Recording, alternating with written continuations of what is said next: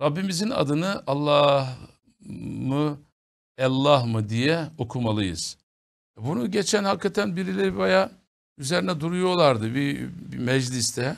Bununla alakalı efendim işte e, bunu nasıl telaffuz edeceğiz? Şimdi burada Arapçada ki harfler Türkçenin birebir aynısı değildir. Yani mesela bazı harfler vardır ki e, Türkçe'de kelime olarak yani ses olarak tam birebir uymayabilir. Mesela e, e, a dediğimiz e, gayr, gayr mesela ga, ga kelimesi diye Türkçe'de yok. Mesela e, halakas sema ha mesela Türkçe'de bu ses kelime olarak bulamaz. Bir H harfini yazabilirsin ancak.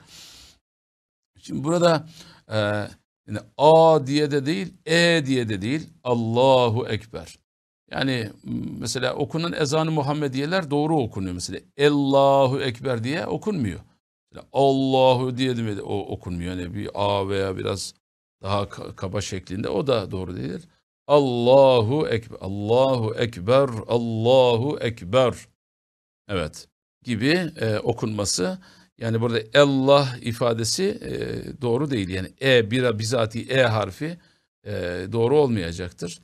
Efendim bu şekilde kaba bir A şeklinde de okunması değil. Onun orta lafzıyla efendim okunması yerinde olacaktır. Allahu Ekber, Allahu Ekber, Allahu Ekber. Mesela bir eh, sert esen rüzgarda veya sert yağan yağmurlarda bir afat, bir musibet anında mutlaka tekbir getirin. Allahu Ekber, Allahu Ekber, Allahu Ekber, Allahu Ekber, La ilahe illallah, Allahu Ekber, Allahu Ekber ve lillahil hamd. Öyle oraya selamet verir. Evet, yani böyle bir mesele var. Sert esen rüzgarlarda Allah bir selamet nasip eder. Onu da yapalım.